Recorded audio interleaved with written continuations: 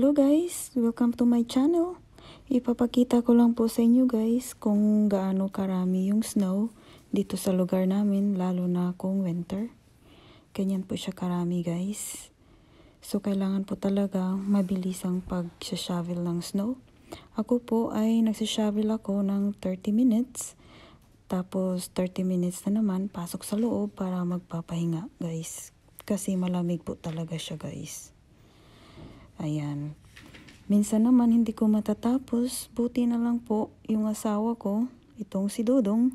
Medyo masipag din po siyang mag-shovel. Kaya siya po lagi ang nagtatapos guys.